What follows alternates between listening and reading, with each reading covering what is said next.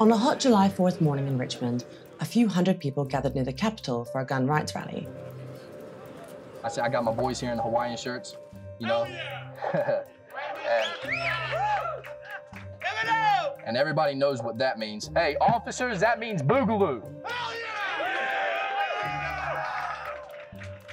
Many in the crowd, like Mike Dunn, one of the rally organizers, are part of the Boogaloo Bois. Boogaloo is code for civil war, and that's the core goal of this loosely organized anti-government movement. A lot of people believe differently about the Boogaloos, but the core belief is the fact that we stand for freedom, individual freedom of all, and we're willing to defend anyone's rights to those freedoms. Would you say that the Boogaloo movement is a more extreme version of militia groups? I think someone saying that we're extreme or saying someone else is extreme is all based on whoever's going to watch this or listen to this, they have to make their own decision. I'm not going to sit here and say we're extremists. But the Boogaloo ideology itself takes inspiration from some pretty extreme events, like the Ruby Ridge siege in 1992 and Waco, Texas in 1993, both deadly standoffs between federal agents and anti-government extremists. The movement started earlier this year on social media, drawing in followers that ranged from hardline libertarians and online shit posters to white supremacist militiamen. Then in May, the Boogaloo jumped into the real world when armed men in Hawaiian shirts protested lockdown orders in Michigan, Texas, and North Carolina. The Black Lives Matter protests gave the Boogaloo another excuse to move from the internet to the streets.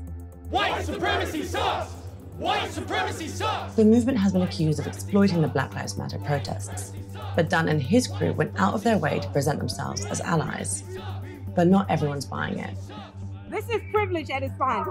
When you can stand anywhere you want with all kinds of ammo and weapons, and nobody says anything and nobody cares, that's your privilege. The Richmond rally was mostly peaceful. However, the Boogaloos have come under increased scrutiny after a number of recent arrests.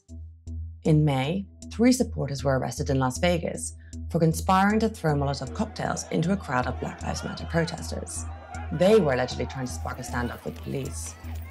And around that same time, an Air Force staff sergeant allegedly gunned down federal courthouse security guards in Oakland, killing one. Investigators say that they found the word boog scrawled in blood on his van. All of the men have pleaded not guilty. These real life examples echo the Boogaloo's violent online messaging, and the movement has resonated on TikTok, where videos with the Boogaloo hashtag have over 2 million views. And last week, Facebook kicked off the Boogaloos scrubbing the platform of hundreds of pages and labeling them a quote, dangerous organization. The move came months after a report by the Tech Transparency Project warned that tens of thousands of Facebook users were visiting Boogaloo pages to share bomb making recipes and weapons expertise.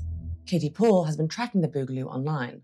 Prior to Facebook labeling this as a dangerous organization, the Boogaloo movement already had all of the hallmarks of, of a classic extremist movement and was violating multiple community standards in Facebook's dangerous individuals and organizations policy.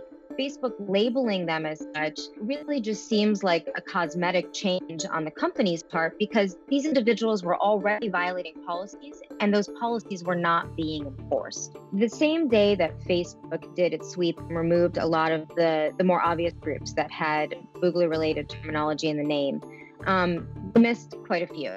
And in missing those, it still allowed those individuals to create new groups. They've already created several new groups with even more innocuous names that that make it more difficult for the platform to track them.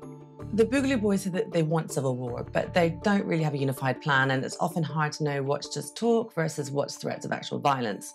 But they are on the government's radar. Homeland Security has repeatedly warned that they could exploit protests. And a new DOJ task force on anti government extremism singled out the Boogaloos as an emergent threat. From sea to shining sea.